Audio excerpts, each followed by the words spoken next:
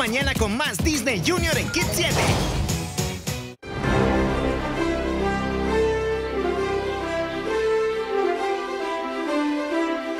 Esta podría ser la habitación